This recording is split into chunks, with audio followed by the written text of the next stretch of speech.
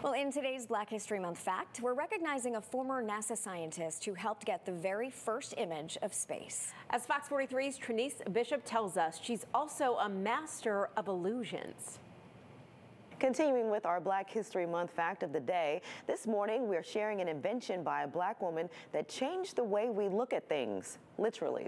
Valerie Thomas is a trailblazing scientist who worked for NASA for more than three decades. Throughout her distinguished career, she worked on many projects, including managing the development of NASA's Landsat program, which was the first satellite able to send images from space back to Earth. But her greatest accomplishment didn't happen until after she attended a scientific exhibit exhibit in 1976 where Thomas saw a demonstration of an optical illusion using concave mirrors that created the illusion of an object. After seeing this, Thomas was determined to find a way to use this technology to continue more illusions. After much research and experiments in 1980, Thomas patented the illusion transmitter. Sounds futuristic, right?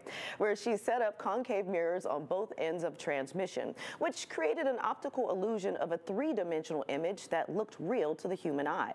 NASA continues to use her technology today, and it's been used to make surgical tools and also television screens.